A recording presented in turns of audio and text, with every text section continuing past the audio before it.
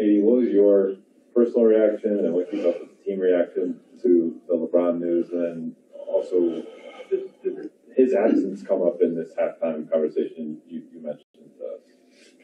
Um, it was something that was unexpected for sure. Um, found out this morning. You know, did more testing and you know we didn't really hear anything afterwards. You know, woke up from the nap and any media outlet that covers anything had it on and said that he was uh he was in the health and safety protocol. So um, it wasn't like a, a shocker for us. We just said we can't catch a break. You know, we was getting guys back, and then you know he's out.